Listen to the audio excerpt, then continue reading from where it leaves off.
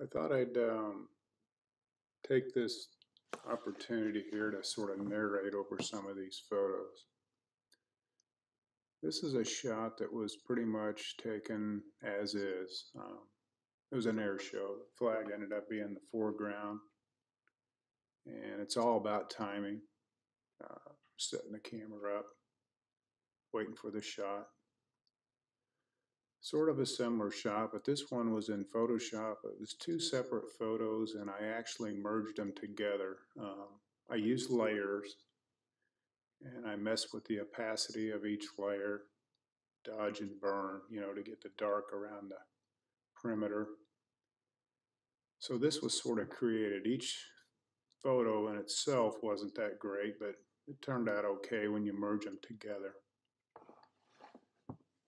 I was sort of happy with it. It's sort of like a um, artistic photo instead of just a regular photo.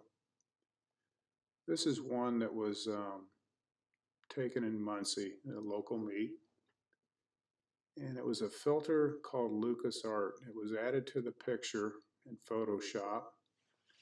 And it creates a um, sort of a artistic look. And you can adjust how much effect you put in with this filter. Uh, this one was quite a bit. Uh, the next shot here coming up, it's taken in Muncie. It's Wendy flying his plane. And this shot could have been improved with the shutter speed being a little faster. I think if the shutter speed was faster, I think I would have got the plane without a blur.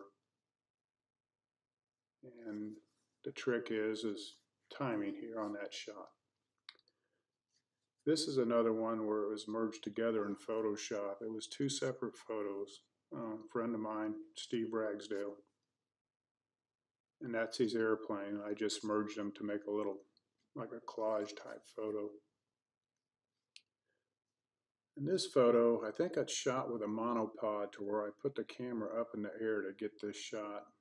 And it's uh, LucisArt again. And you can do the same thing in Photoshop with um, shadows and highlights. It gives a different effect. This one, this was shot with a Canon 20D and a 500 millimeter lens, a prime. And the angle it was shot at, it almost looks like you're in the air with the airplane, but you're not. This was shot from the ground. But it takes a really long lens to reach out and get this effect. Plus the plane has to be at the right angle. And no Photoshop effects, just a little sharpening and uh, cleaning it up.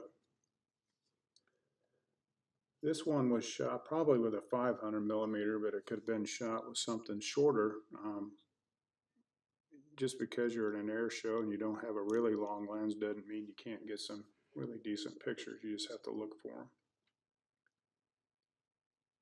Along the same lines, I think this was a wide angle lens with a filter on it. It was um,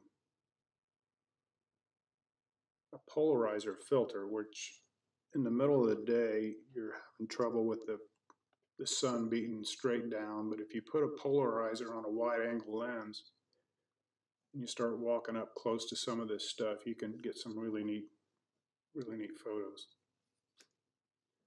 This was at Oshkosh. It was shot after everybody went home. I mean, the golden hour, a lot of times at an air show is non-existent because the air show is finished. But if you ever have static displays, planes sitting around at this hour of the day, morning or night, uh, walk up on it and take advantage of it. You can get some really neat effects. And these, like I said, the golden hour, this, this time, you know, where you can get this, might be more than an hour, give or take, but you can get some, some dramatic effects just by uh, timing, waiting around, and knowing what to look for.